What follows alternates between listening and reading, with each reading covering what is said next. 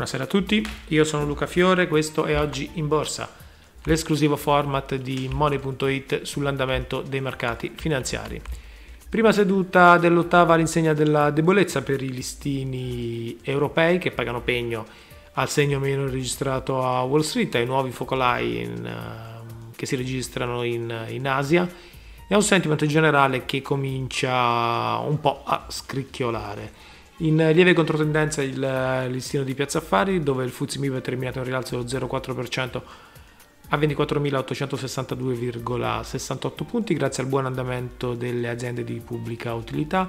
Era è salita del 2,35%, Italgas del 2,06% e A2 ha, fatto, ha messo a segno un più 1,23%. La performance migliore è appannaggio di Unipol più 2,59% che venerdì ha presentato i conti trimestrali Bene anche il banco BPM più 1,98%, sempre al centro delle, delle grandi manovre relative al consolidamento del settore.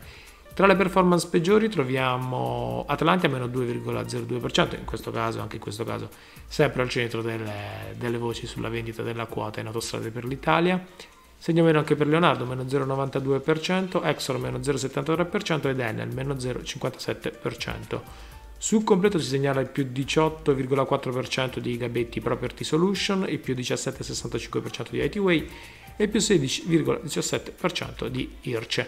Dietro la lavagna invece troviamo Datalogic, Eurotech e il titolo dell'AS Roma che scese rispettivamente del 3,85, del 3,39 e del 3,18%. Per quanto riguarda le squadre di calcio si segnala il più 3,01% del, delle azioni Juventus, che oltre al fatto che la squadra ha ancora possibilità di qualificarsi per la prossima Champions League, oggi nel corso della seconda parte ha capitalizzato le voci di un possibile addio del calciatore Ronaldo.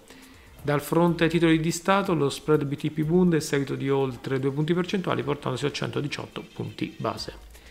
Da money.it per oggi è tutto, l'appuntamento è a domani. Buona serata.